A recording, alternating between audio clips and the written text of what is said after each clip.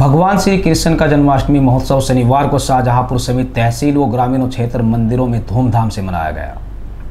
लड्डू गोपाल को झूला झुलाने के लिए हज़ारों की तादाद में लोग मंदिरों में पहुँचे और इलेक्ट्रॉनिक झांकियाँ और खुद बच्चे भगवान कृष्ण के रूप में सजे झांकियों में शामिल हुए। भक्तों की सुरक्षा को ध्यान में रखते हुए मंदिर कमेटी की तरफ़ से भी विशेष प्रकार के इंतज़ाम किए गए थे। शहर के बाबा विश्वनाथ मंदिर में भी धूमधाम से मनाई जन्माष्टमी। खबर मैनपुरी से, जहाँ पर सुबह सोच क्रिया को गया किसान स्वयंवीर सिंह की हुई दर्दनाक मौत। किसान ने मक्का के खेत में जानवरों से बचने के लिए बांधा था विद्युत करंट तभी किसान की मौत हो गई। जानकारी होते ही परिवार में कोहराम मच गया। मौके पर पहुँची पुलिस।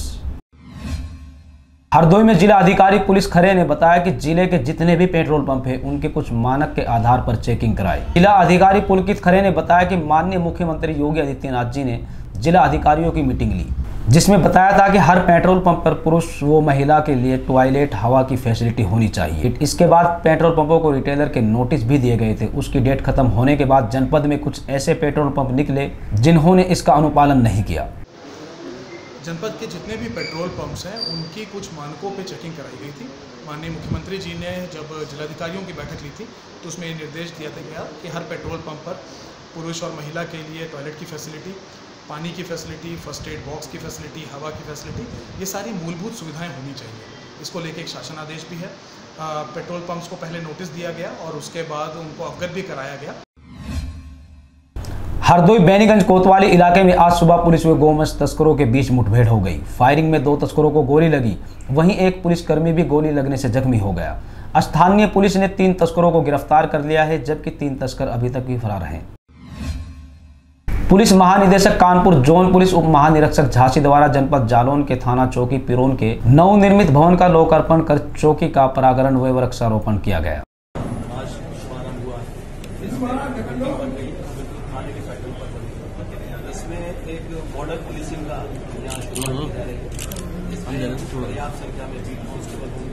और यहाँ सभी जितनी भी डिजिटल सेवाएँ हैं, पुलिस की, उनके बारे में भी जानकारी दी यहाँ रोड पर हाईवे पर कुछ घटनाएँ रहती हैं, उसको रोकने के लिए भी यहाँ लगातार चेकिंग का अभियान और यहाँ जो प्रेजेंस है पुलिस की वो बनाई गई है।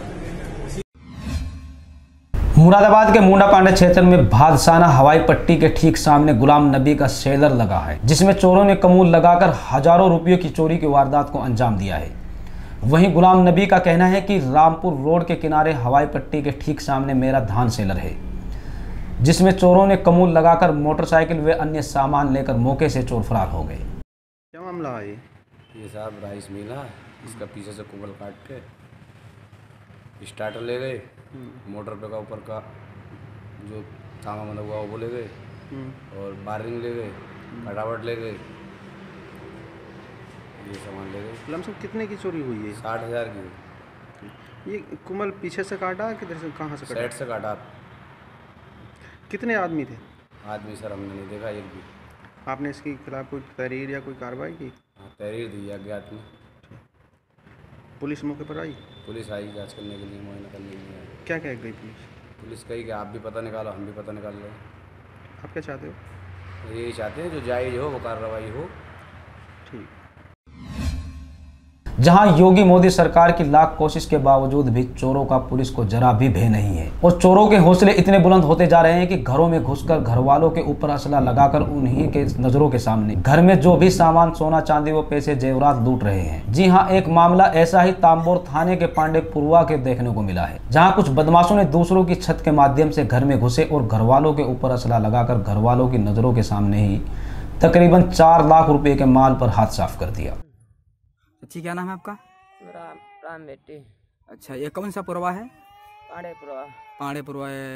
कहाँ किसमें पड़ता है? तंबोर में आता है क्या? नए तंबोर नए तंबोर देहात इच्छम लागत है। ये देहात इच्छा में लगता है। अच्छा क्या परेशानी चाची क्या है? नहीं भैया डकैती हमारे घर में कई ले गए अच्छा। हमका लोगन कमरा में बंद कर थे बाद में ऐसे ने पुली लगाए थे सामान सब सारा लूट ले गए। दो लाख रुपया के चोरी की डकैती की है सत्तर हज़ार नगद नगद ले गए जो रात सब पता हज़ार उठा ले गए जेवर कितने की होगी? जेवर कितनी की होगी जो गई है? जेवर तो तुमसे बता पाँच सोने के गले के आ रहा। हाँ। झाला कितने का होगा मान के चलिए अब जेवरात जो सवा लाख सवा लाख सवा लाख का। पचास पच्चीस हज़ार। सामान गया है। और रुपया कितने गए हैं? सत्तर हज़ार। सत्तर हज़ार रुपये गए। अच्छा ये सूचना आपको हुई ने अब मतलब आपके जागते हुए सब सामान लेके गए हैं क्या? जागते हुए हम भी देखा है हाँ। को अच्छा। जा, जागते में ले गई वहीं खबरों में बात करते हैं रामपुर के शाहबाद की जहाँ भुरसी के गाँव ओमपाल ने अपनी बेटी नारायण देवी का रिश्ता मोतीराम के लड़के से किया था। जो नवीनगंज का रहने वाला है शादी को लगभग सात साल हो गए हैं। नारायण देवी के पास एक बेटी भी है। नारायण देवी का कहना है कि मुझे लड़का मारता और पीटता था।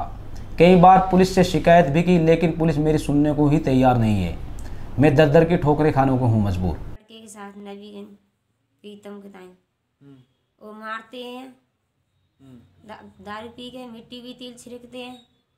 मैंने अपनी जान बचाई अपनी पियर आई। तो पियर से भी आ, लेके चार पाँच आदमी को ताई गाड़ी में खींच के ले गए। तो गाँव वालों ने निकाली में। अब फिर लड़की को कहते हैं ये लड़की मेरी नहीं है। मैं किसकी लेके आई हूँ? ये लड़की इसकी नहीं है तो। कौन कहता है? वो मेरे घर वाला कहता है कि ये लड़की मेरी नहीं है। नहीं ज़मीन जायदाद मिले तेरी लड़की को। नहीं नहीं तुझे मिले। वो भैया भतीजन को दूंगो। मैं तुझे रखूँगा नहीं अपने घर पे। नहीं तू मेरे लाख है।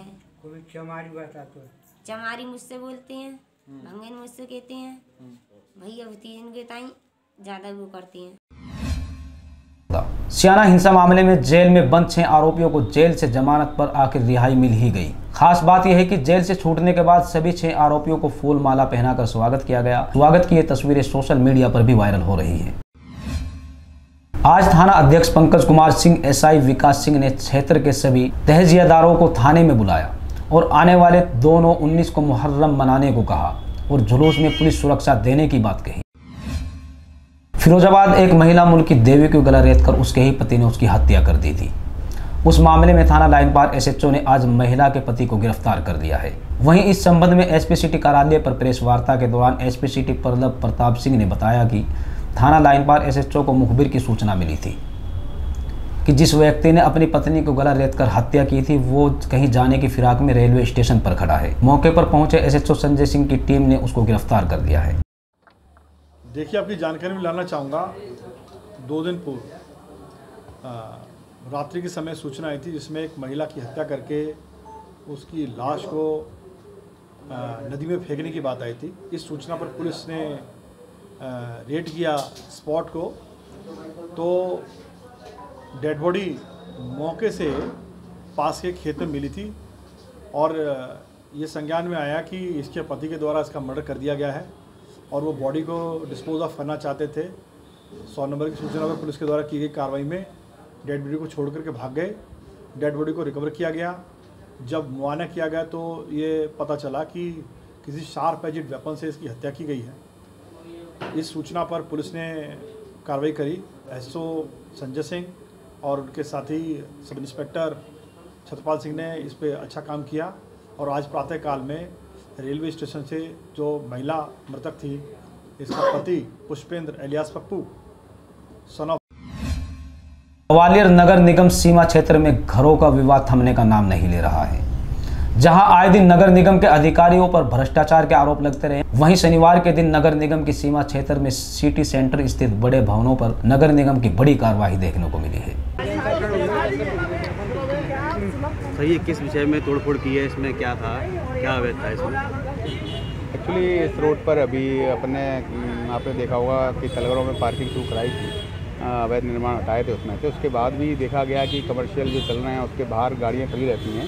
तो लोग तलबों में कार्रवाई अपने गाड़ियाँ नहीं रखते हैं। उसके तहत अपने ट्रैफ़िक पुलिस के साथ ये कार्रवाई की जा रही है कि जो बाहर गाड़ियाँ उनका चालान वालन करके और किया रहा है। और इन जो अवैध निर्माण कार्रवाई आप देख रहे हैं इनको आवासीय स्वीकृति दी थी और शॉप्स वगैरह बना दी तो इससे भी पूरा जाम बना रहता है।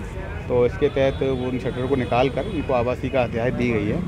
और अम, यहाँ कार्रवाई पहले भी हुई थी कुछ कुछ टाइम पहले भी अभी दो महीने पहले भी आपने शायद यहाँ कार्रवाई मामला संभल की चंदोसी का है जहाँ पर एक बुज़ुर्ग की ट्रेन की चपेट में आने से दर्दनाक मौत हो गई। मौके पर पहुँची पुलिस ने शव को कब्जे में लेकर पोस्टमार्टम के लिए भेज दिया। बुज़ुर्ग की अभी शनाख्त नहीं हो पाई।